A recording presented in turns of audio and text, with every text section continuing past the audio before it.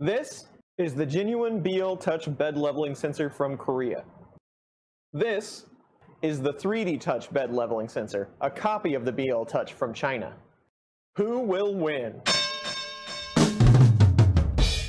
I was always curious about how much of a difference there was in between the genuine BL Touch sensor and the cheaper 3D Touch clone. Now it's time to find out. Here are the high level specs. The 3D Touch is around $25 US and it ships from China most of the time. Most of you will have to create your own wire extension to connect this sensor up to your board. Where the BL Touch is $48 US and usually ships from a US reseller. You do get all the stuff to make your wire extension with the BL Touch, but you will have to assemble it yourself. Make sure you have a set of crimpers.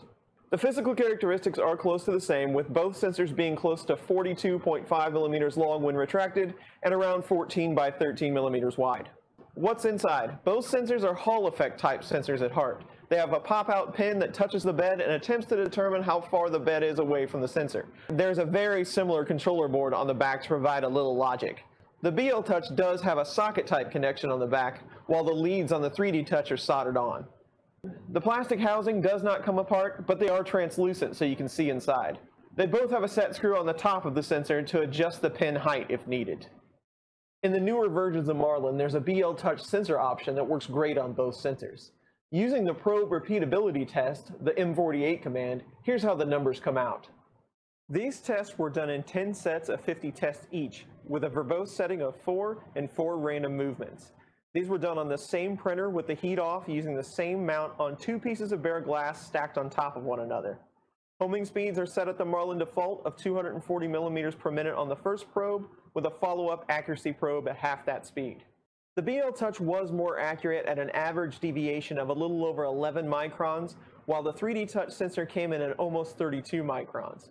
But what does that mean? Well, let's say this is your first print layer at 200 micron, and you're using the 3D touch sensor, which is probably accurate to plus or minus 32 microns. That means your first layer will be accurate to within 16% or 84% of the amount of the first layer. While if you were using the BL Touch, it would be accurate within a 5.5% or 94.5% of the first layer. So really, what's plus or minus 50 microns between friends? Given a more than likely inconsistent build surface with possibly glue or spray on it and their proper amount of squish with your first layer, either one of these is accurate enough. So in other words, both will work just fine. And as far as what deviation actually means, it's saying out of a set of measurements that some will be more accurate than others. Tom does a lot better job of explaining this. I suggest you watch his sensor shootout video. So which one should you get? Do you like things that are cheaper and probably good enough for your 3D printer application? Go the China route. There's nothing wrong with that. Or are you willing to shell out a few more bucks to get the wiring harness supplies and that little extra accuracy that probably won't help your prints, but gives you that peace of mind? Go with the BL Touch. Nothing wrong with that either. You make the call.